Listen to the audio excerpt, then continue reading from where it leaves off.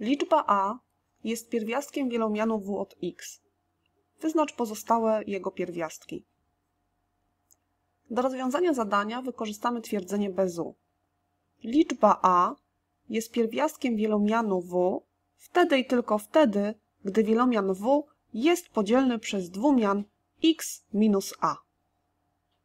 Ponieważ naszym pierwiastkiem była liczba 3, to wiemy z treści zadania, oznacza to, że nasz wielomian będzie podzielny przez dwumian x minus a, czyli w naszym wypadku x minus 3.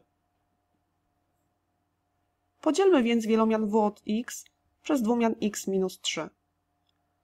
Możemy wykorzystać tutaj schemat Hornera. Aby podzielić wielomian w od x przez dwumian x minus 3, za pomocą schematu Hornera spisujemy współczynniki wielomianu w od x. Przed najwyższą potęgą mamy y, współczynnik 1. Następnie przy x do drugiej mamy współczynnik minus 4. Przy x minus 3 i wyraz wolny 18.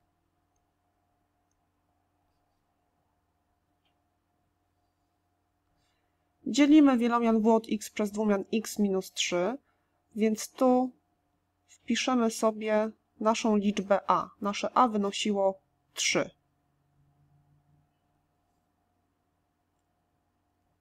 Postępujemy według schematu Hornera. Pierwszy współczynnik spisujemy na dół.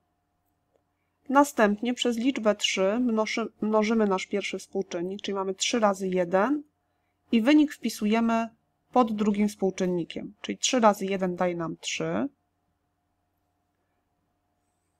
Następnie dodajemy minus 4 dodać 3 daje nam minus 1. Powtarzamy czynności. 3 mnożymy przez liczbę na dole, czyli mamy 3 razy minus 1 daje nam minus 3 i wynik spisujemy pod trzecim współczynnikiem.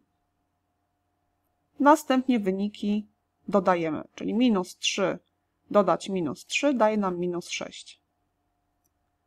Powtarzamy 3 razy minus 6, wynik wpisujemy pod ostatnim współczynnikiem, czyli 3 razy minus 6 daje nam minus 18 i wyniki dodajemy. Dostajemy 0. Spodziewaliśmy się, że reszta z dzielenia wielomianu w od x przez dwumian x minus 3 wyniesie 0, dlatego że 3 było pierwiastkiem wielomianu w od x. Otrzymane na dole liczby są współczynnikami wielomianu, który powstał przez podzielenie wielomianu w od x przez dwumian x minus 3. Ponieważ jedynka y, była współczynnikiem y, stojącym przy x do potęgi trzeciej, minus czwórka x do potęgi drugiej, minus 3 stała przy x, tutaj mieliśmy wyraz wolny, to teraz otrzymane współczynniki będą o stopień niższe. Czyli jeżeli y, tu mieliśmy x do potęgi trzeciej, to teraz tutaj będziemy mieli x do potęgi drugiej. Czyli to jest 1x do potęgi drugiej. Tu był x do potęgi drugiej, teraz mamy x do potęgi pierwszej, czyli minus 1x to był x potędze pierwszej, teraz mamy x potędze zerowej, czyli po prostu jest to wyraz wolny. Minus 6. Ten zapis nie do końca nam się podoba, pozbywamy się jedynek, czyli mamy x do kwadratu minus x minus 6. Otrzymany przez nas wielomian powstał przez podzielenie wielomianu w od x przez dwumian x minus 3. Co oznacza, że jeżeli dwumian x minus 3 pomnożymy przez otrzymany przez nas wielomian, dostaniemy z powrotem wielomian w od x. Możemy to zapisać. Tu mamy dwumian x minus 3 razy x kwadrat minus x minus 6. Przypominam, że pierwiastki wielomianu to są takie xy, dla których nasz wielomian wyzeruje się, czyli w od x musi być równe 0 co oznacza, że iloczyn naszych dwóch wielomianów ma wynosić 0. Zapiszmy to w postaci równania. Dostaniemy x minus 3, x kwadrat minus x minus 6 musi się równać 0. Mamy tu iloczyn dwóch liczb. Aby iloczyn dwóch liczb był zerem, przynajmniej jedna z nich musi być zerem. Czyli albo to wyrażenie jest zerem, czyli x minus 3, albo to wyrażenie będzie zerem, czyli x kwadrat minus x minus 6 równa się 0. Z pierwszego równania dostaniemy, że x równa się 3. Oczywiście wiedzieliśmy już wcześniej, że trójka jest pierwiastkiem naszego wielomianu. Natomiast z drugiego równania wyznaczymy pozostałe pierwiastki wielomianu w od x. Mamy do rozwiązania zwykłe e, równanie kwadratowe, czyli oczywiście liczymy deltę.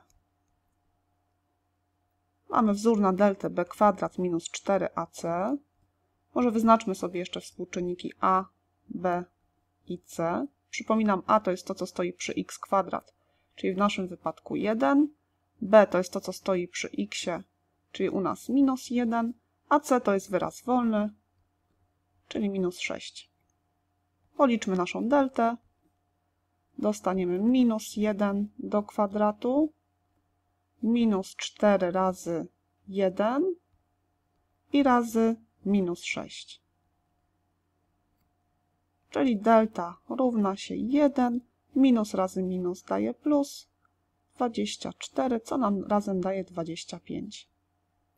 Policzmy jeszcze pierwiastek z delty, czyli pierwiastek z 25 to jest 5. Ponieważ delta wyszła nam dodatnia, Nasze równanie będzie miało dwa rozwiązania postaci x1, x2. x1 to jest minus b minus pierwiastek z delty przez 2a. Podstawmy nasze dane. b wynosiło minus 1, czyli minus b to jest 1. Pierwiastek z delty to jest 5. a wynosiło 1, więc 2a to będzie 2. Dostajemy minus 4 przez 2 czyli minus 2. I policzmy jeszcze x2. x2 równa się minus b plus pierwiastek z delty przez 2a. Podstawmy nasze dane. Za b wstawiamy minus 1, czyli dostajemy 1 plus 5 przez 2 razy 1, czyli 2, co nam daje 6 przez 2, czyli 3. Pozostałe pierwiastki naszego wielomianu to jest liczba minus 2 oraz 3.